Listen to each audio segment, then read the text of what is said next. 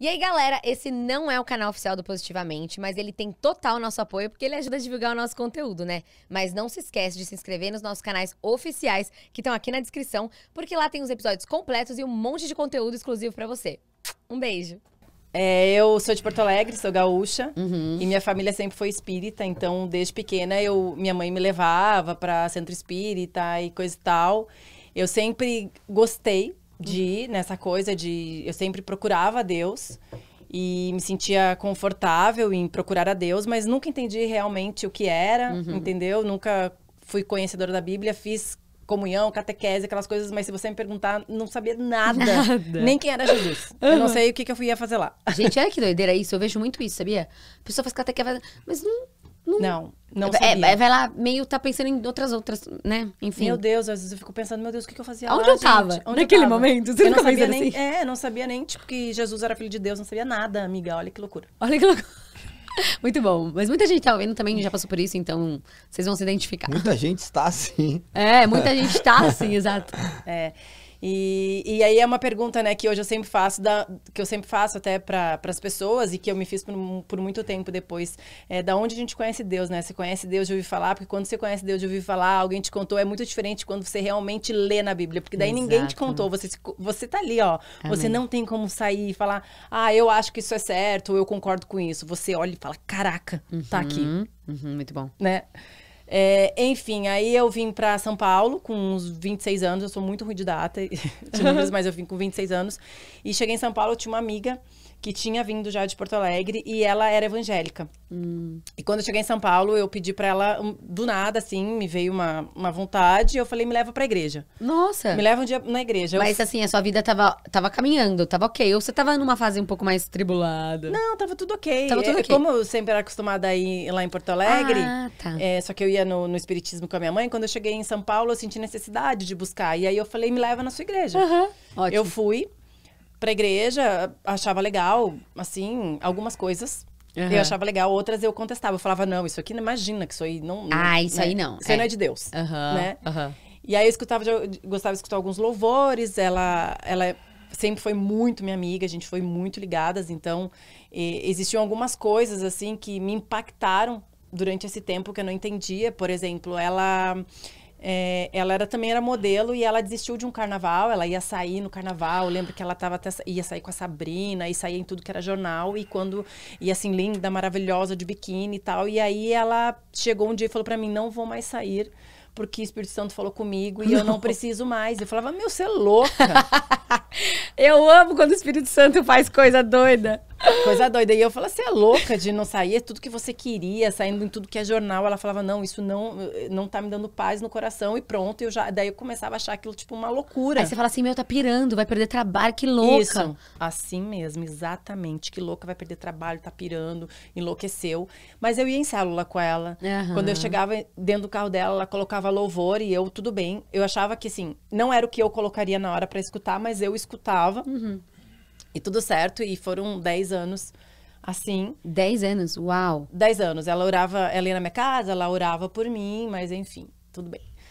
É, eu achava legal, mas não. Falava, ai, que fofa ela, né? Gosta de Meio mim. Meio que fofa. E, e às vezes ela abria a Bíblia na minha casa, porque ela morou um tempo comigo e ela lia e eu não entendia nada. E isso é uma coisa que eu falo, assim, para todo mundo: não desistam de ninguém. Uau, não bom. desistam, sabe? Porque às vezes a gente tá lá orando por alguém e pensa assim: meu, mas essa pessoa não tá nem aí pro que eu tô falando. Não interessa. Você tá plantando aquela sementinha e um dia ela vai lembrar daquilo tudo que Exatamente. Deus tem feito na sua vida. Amém. E, e aí chegou um momento da minha vida, em 2013. Eu ia com ela em célula, em vários lugares, assim. E, e, e aí, em 2013, meu pai faleceu. E, e eu, bom, desse meio tempo eu trabalhei no Pânico, uhum. né? Eu, eu fui pra Fazenda, eu trabalhei com a Ana Hickman. Nossa, muita coisa aconteceu. É, nesses 10 anos que eu fiquei em São Paulo, eu fiquei famosa, uhum. muito famosa. Uhum. Eu era símbolo, né, sexual, porque eu trabalhava de maiô, de biquíni, e as matérias que eu fazia no Pânico apelavam muito para isso, uhum. para sensualidade. Uhum. E enfim, minha vida era, era completamente diferente da vida que eu tenho hoje, uhum. né? Era uma vida de que eu conheci coisas que eu jamais imaginei. Eu tinha, imagina, eu tinha tudo que eu queria. Eu chegava, não conseguia chegar na praia, não conseguia ir no mercado, no shopping. Sem as pessoas te pararem. Sem as pessoas me pararem. Caraca, Sabe? Então, tipo assim, eu, olha, eu vou te falar que hoje isso é tão surreal para mim que eu falo, meu, como que eu vivi isso?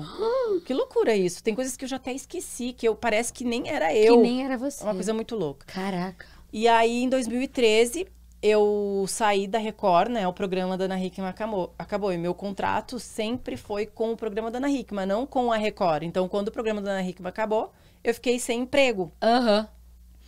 E eu nunca pensei, assim, no que seria da minha vida quando isso acabasse. Porque eu nem... Nem pensava no Nem futuro. pensava se isso acabaria um dia ou não. Eu ia vivendo, vivendo. Um dia após o outro, Um né? dia após o outro e ok. E quando acabou, é, eu já estava numa fase muito difícil da minha vida, assim, porque meu pai tinha falecido, é, eu já, é, já sentia, né, e sofria muito preconceito das pessoas por ter trabalhado de biquíni, então eu sentia que quando eu chegava na roda das pessoas, as pessoas falavam assim, ah, paniquete, fazia programa, porque muita gente taxava as paniquetes, né, que falavam, ah, as meninas é, fazem programa, então uhum. eu sentia isso, eu fiz terapia por muito tempo, porque eu não aceitava isso, e, e aí eu passei por algo pontual que foi muito forte na minha vida. E, e nessa época eu frequentava o candomblé. Porque assim, eu ia na célula, às vezes eu ia na igreja, mas eu ia no candomblé, eu ia no espiritismo e eu, Sim. tipo, tava meio perdida. Sei lá, eu não sabia de nada, nem quem eu era mais. E aí um dia eu fui no candomblé e eu tava muito mal por algo pontual que tinha acontecido na minha vida. Cheguei lá e falei pro, pro pai de santo é, eu gostaria que você. Eu vim aqui hoje para você fechar os olhos das pessoas, para as pessoas não verem, não me verem mais. Caramba! Né? Não quero mais ser famosa, não quero mais que as pessoas me reconheçam e tal. E aí eu sentei antes de, de ter uma consulta, né, com o Pai de Santo, eu sentei para conversar com ele. E aí eu falei para ele assim, meu Deus, eu tô muito perdida na minha vida e tal. Eu só tenho uma amiga minha que é evangélica. Que, que era aquela. Que é a minha amiga Priscila. Uhum. Que é evangélica e ela fala muita coisa para mim e tal. E eu falei, o que, que você acha de tudo isso? De toda a história que eu tinha contado para ele. E ele falou assim pra mim, é, a gente não mexe com os evangélicos, eles são muito protegidos. E aí quando ele falou isso pra mim, ele falou, não, realmente, os evangélicos, a gente nem mexe com eles e tal. Quando ele falou isso pra mim, eu Falei, meu Deus. Olha. O que, que eu tô fazendo aqui? Peguei e fui embora para minha casa e falei, olha, a partir de hoje eu vou conhecer um pouco mais de Deus. Eu preciso saber o que realmente a minha amiga vive, que ela ora tanto pelas pessoas. E aí eu cheguei em casa e falei, Pri, vou, quero que você chame o pastor Marcos e a missionária Jo, que uma vez tinham orado por mim e tinham deixado o telefone para quando quiser, quando eu quisesse, eles fossem orar na minha casa. Eu falei, eu gostaria que vocês chamassem eles aqui. E eles entraram na minha casa e começaram a fazer uma campanha de oração de toda quarta-feira. Falaram, ó, oh, eu vou te propor uma campanha de oração. Eles eram super leves. Na minha casa tinha um monte de santo. e aí eles nunca me falaram nada, tipo, tira isso, ou você não tem que crer nisso, ou você tem que parar de beber, ou você tem que parar de ir pra balada. Era nunca. Sábios, a sabedoria. É, nunca me falaram nada, simplesmente começaram a orar pela minha vida. Uhum. E a minha vida mudou muito. Eu me encontrava num momento eh, depressivo, mal financeiramente, eu tava com ordem de despejo do meu apartamento. Meu Deus! Eu, eu, eu não queria mais sair na rua, não queria enxergar meu porteiro, eu não queria mais que as pessoas me reconhecessem. E eu tive um sonho. Aí eu sonhei com Jesus. Eu sonhei que eu tava no mar, assim, com a água pelo pescoço e que eu tentava nadar, assim, e eu conseguia devagar e que Jesus me chamava na areia e falava: Minha filha, me segue. né? eu, eu, vou te saciar. E, e você vai é, conseguir passar por tudo isso que você tá passando. E, e, era o que eu tava passando era muito pesado para mim. Caramba. São muitas coisas, assim, que eu não, nunca nem contei. Um dia eu vou contar. Uhum.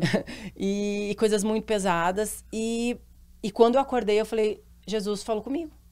Uau. Jesus falou comigo. E foi o mês onde eu trabalhei muito, onde eu consegui pagar as minhas contas, onde eu tinha certeza de que Jesus estava comigo. Comecei para a igreja. Eu falei, agora eu preciso para a igreja, eu preciso escutar a pregação, porque eu ainda não conseguia ter o um entendimento de ler a Bíblia. Uhum.